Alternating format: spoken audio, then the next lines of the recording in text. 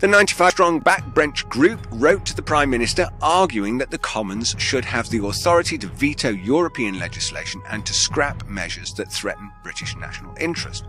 Signatories to the letter drafted by senior MP Bernard Jenkins reportedly included James Clappison, Conor Burns, John Baron, Anne Main and former Defence Minister Sir Gerald Howarth. Another six apparently support the proposal but have not added their names, some reportedly because they are in government jobs. well, it's nice to know that they are acting in the interests of their constituents. Fail. This is a blag. Well, in fact, it's a lie.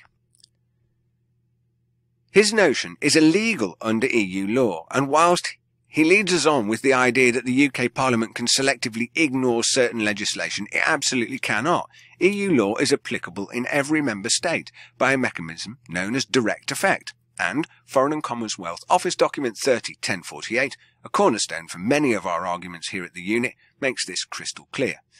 You've guessed it, I am repeating myself, but for reasons of clarity.